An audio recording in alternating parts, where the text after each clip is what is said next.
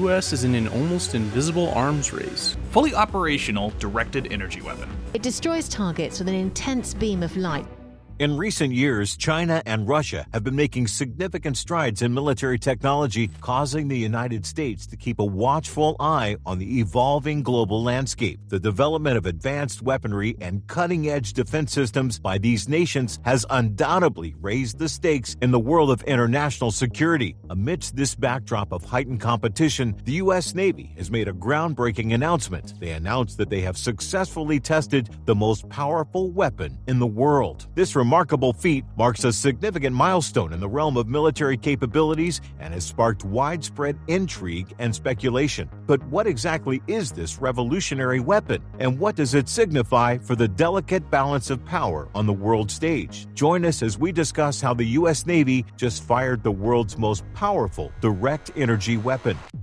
Before we go into details, we need to first explain why this announcement is important. China's military has been undergoing a period of rapid modernization and expansion in recent years. This growth encompasses various areas, including its nuclear arsenal, conventional forces, and technological advancements. One particularly intriguing development is China's focus on high energy laser weapons. A recent breakthrough in cooling technology for high energy lasers is particularly noteworthy. Traditionally, heat buildup has been a major obstacle in developing practical laser weapons. Chinese researchers claim their new technology allows for continuous operation without overheating. If proven effective, this could be a game changer, paving the way for a new generation of laser weaponry. Analysts suggest that China's focus on laser weapons is partly driven by the growing prevalence of drones in modern warfare. Drones offer a cost effective and versatile tool for surveillance and attack missions.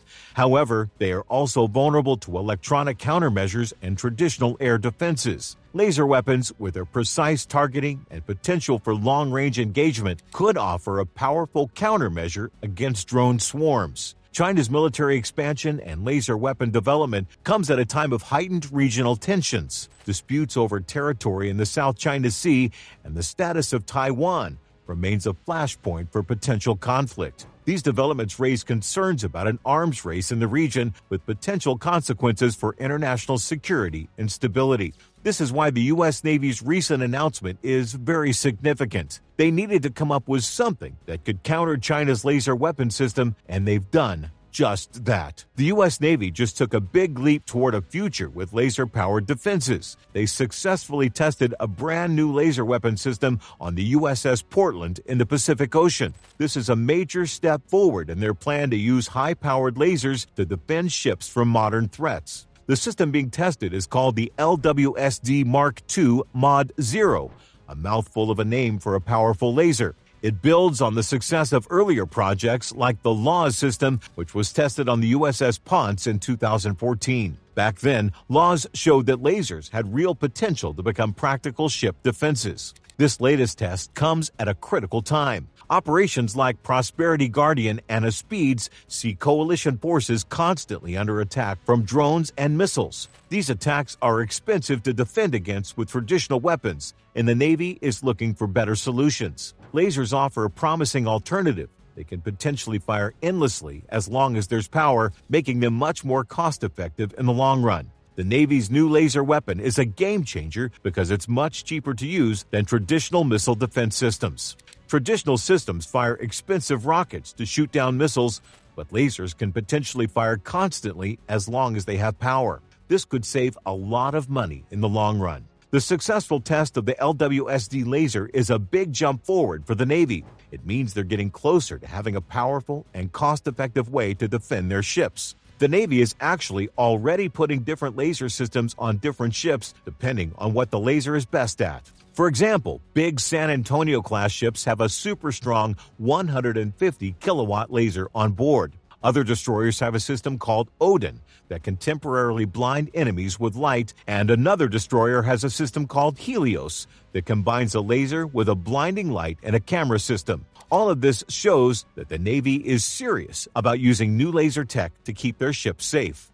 However, the Navy's pursuit of advanced laser weapon systems does not end there. Unlike existing systems focused on counterintelligence, surveillance, and reconnaissance, or CISR, by either dazzling or destroying unmanned aerial systems, HELCAP is tailored to thwart anti ship cruise missiles in a unique crossing scenario. This distinctive capability means that ships equipped with HELCAP can effectively defend against missiles that are on a trajectory intersecting with nearby friendly vessels. This targeted approach serves to significantly bolster the defensive posture of naval assets, ensuring enhanced protection against potential missile threats in specific operational scenarios. The genesis of HELCAP can be traced back to 2019, following the successful conclusion of the ruggedized high energy lasers REL Phase 1.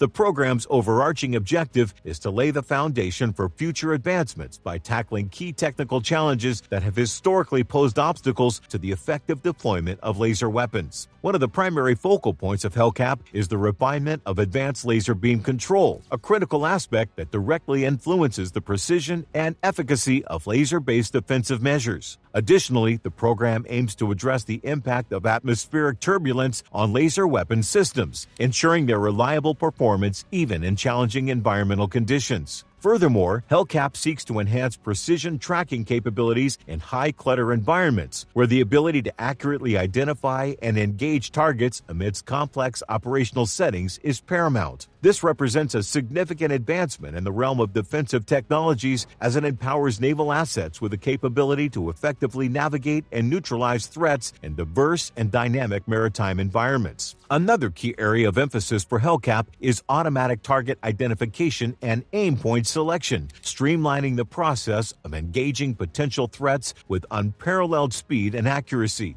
By automating these critical functions, HELCAP aims to significantly reduce response times and enhance the overall effectiveness of laser based defensive measures, further fortifying the defensive capabilities of naval vessels. This laser weapon testbed will be moved to the White Sands Missile Range, or WSMR, where it will be conducting system verification testing this year. At White Sands, the LWT will begin its round of testing by assessing the system's beam control, tracking, and adaptive optics subsystems performance. At the heart of the laser weapon testbed is a powerful 300 plus kilowatt class laser made possible through the Office Secretary of Defense's High Energy Laser Scaling Initiative. This initiative has provided funding to industry teams to deliver cutting edge laser technology, paving the way for the integration of this powerful laser source into the LWT. In addition to the formidable laser source, the LWT will also feature a prototype beam control testbed developed by the Navy, as well as a prototype control system.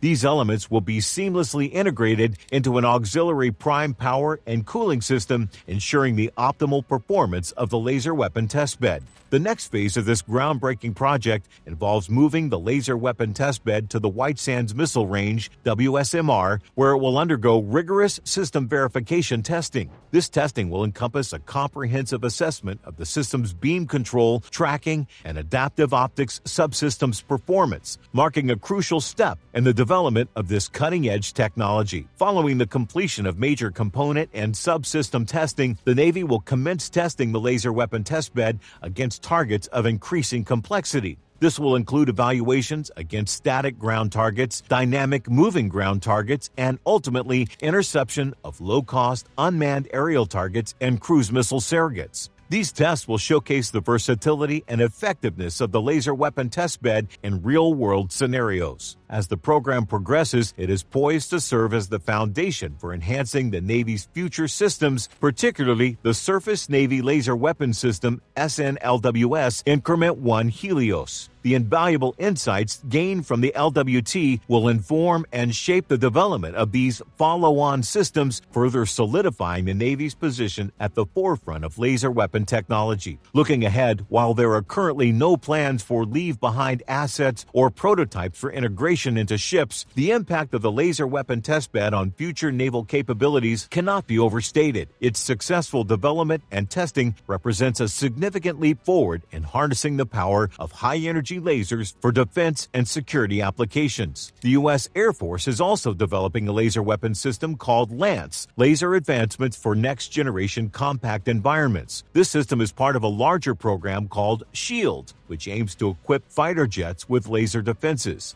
Lance is a big deal because it's much smaller and lighter than previous laser weapons. Lockheed Martin built it to be the most compact and lightweight laser of its power level. This is a major breakthrough that will allow the Air Force to put lasers on fighter jets for the first time. Imagine a fighter jet that can shoot down drones and missiles with a beam of light. Lance is so small because of its advancements in laser technology. Just a few years ago, laser weapons for the Army were much bigger and heavier. The Air Force credits this progress to the Robust Electric Laser Initiative program, which focuses on making lasers more practical for military use. The SHIELD program isn't just about Lance, it also includes a targeting system built by Northrop Grumman that helps aim the laser precisely. Finally, Boeing developed a special pod that attaches to the jet and holds the entire laser system. These three parts work together to make Lance a powerful and compact weapon, a major step forward in laser defense technology. An Air Force official, Kent Wood, is excited about the Lance system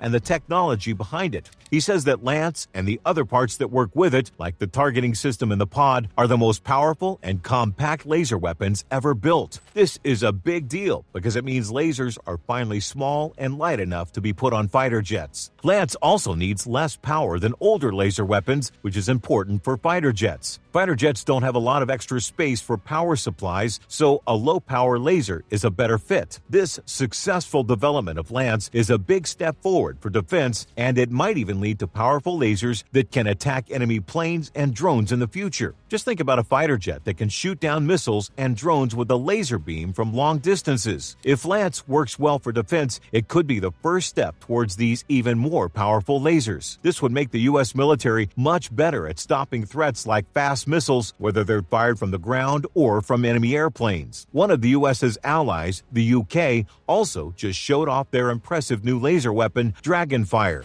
This laser fires a super strong beam of light that travels as fast as anything in the universe. It's so accurate that it can hit a tiny target from over a kilometer away, making it nearly impossible to dodge. They released a video showing Dragonfire in action at a remote location in Scotland. The video includes real footage of the laser firing along with computer simulations of it shooting down drones. This is just one example of how Dragonfire could be used in real life. Dragonfire is a major leap forward in defense technology for the UK. It's a collaborative effort between several companies, each bringing their own expertise to the table. For example, MBDA, the lead company, used its experience with missiles to develop the system's control system and targeting software. One of the key parts of Dragonfire is a special kind of laser that uses thin glass fibers to combine light from many sources into one powerful beam. Exactly how they combine these beams is a secret, but it's a big part of what makes the laser so strong. What do you think about this? Do you